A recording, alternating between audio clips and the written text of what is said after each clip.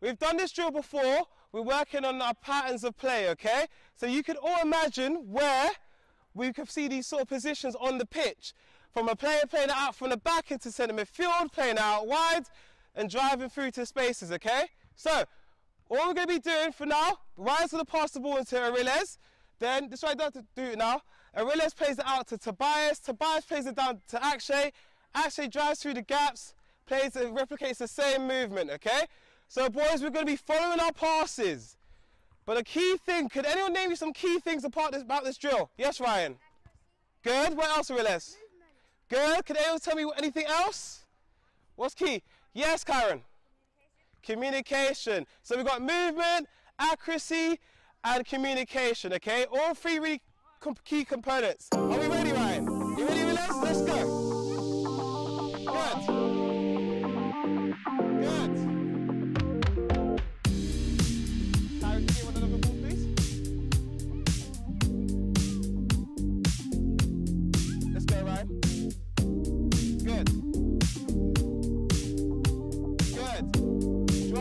Drive. Aaron, move a bit away from Aaron, please. Good.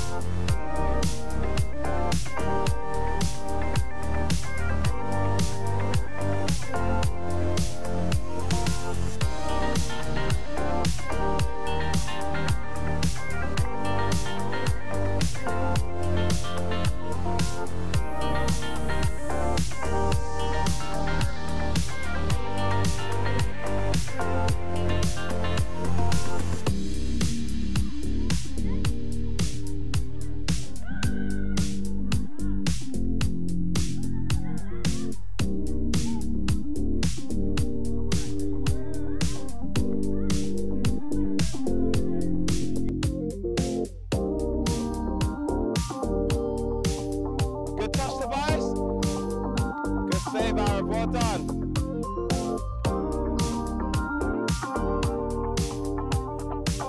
It. Three balls. Yeah, very sharp.